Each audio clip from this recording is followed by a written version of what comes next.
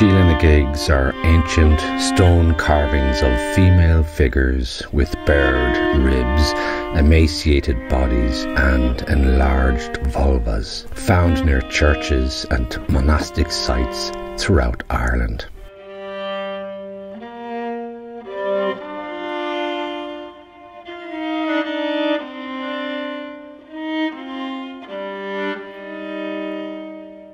Sheela is enigmatic.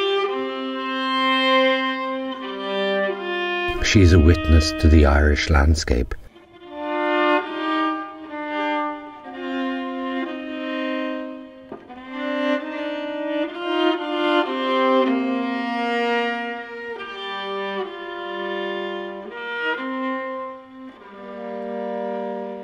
Sheela is an abject female activist.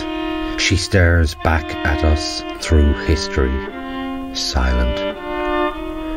To give her a voice, to give her music, requires an aesthetics of damage, a broken form for a fractured past.